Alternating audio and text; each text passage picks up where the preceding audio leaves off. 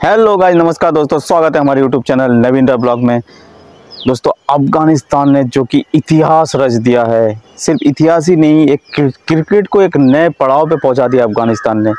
जी, मैं बात कर रहा हूँ इसलिए क्योंकि अफ़गानिस्तान जो कि टी ट्वेंटी वर्ल्ड कप में सेमीफाइनल में क्वालिफाई कर गया है 2024 के इस टी ट्वेंटी वर्ल्ड कप में। सेमीफाइनल की राह अफ़गानिस्तान इतनी आसानी से हासिल नहीं किया।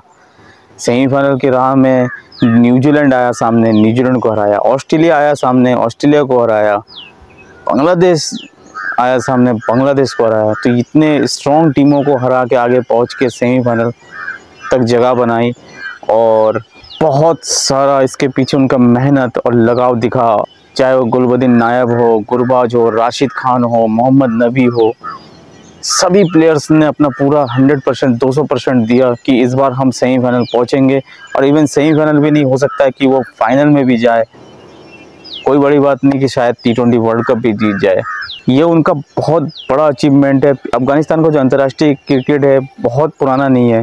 पहला अंतर्राष्ट्रीय क्रिकेट उन्होंने 2010 में खेला था। करीब करीब 14 से 15 साल का उनका अंतर्राष्ट्रीय क्रिकेट का इतिहास है। इतने छोटे से करियर में अफ़गानिस्तान ने सेमीफाइनल में प्रवेश कर लिया। इसलिए कह रहा हूँ क्योंकि बांग्लादेश जैसी टीम पिछले 30 से 35 साल से अंतर्राष्ट्रीय क्रिकेट खेल रही है, लेकिन अभी तक कोई भी आईसीसी इवेंट में सेमीफाइनल तक नहीं पहुँच पाई है।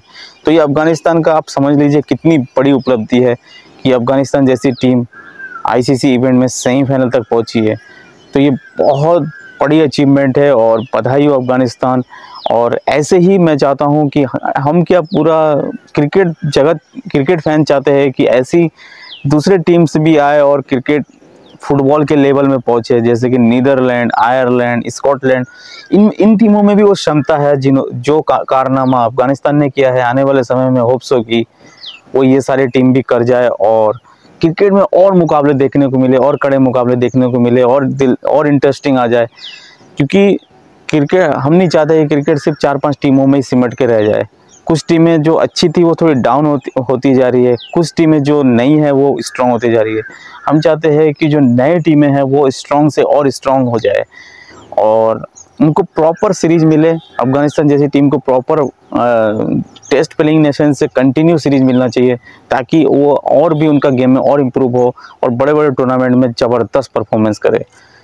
तो देखते हैं अब वो सेमीफाइनल में उनका परफॉर्मेंस कैसा रहता है साउथ अफ्रीका के साथ और इंडिया का इंग्लैंड के साथ। दोनों सेमीफाइनल में हमारी नज़र रहेगी होप्स हो कि इधर से अफ़गानिस्तान या अब साउथ अफ्रीका कोई भी जाए हमें खुशी होगी, क्योंकि दोनों ने आज तक कभी वर्ल्ड कप नहीं जीता है। इंग्लैंड और इंडिया से हम हंड्रेड परसेंट इंडिया का सपोर्ट करेंगे तो इंडिया के साथ देखते हैं कौन खेलता फाइनल में साउथ अफ्रीका या अफ़गानिस्तान। कमेंट सेक्शन में ज़रूर बताइए। थैंक यू जय हिंद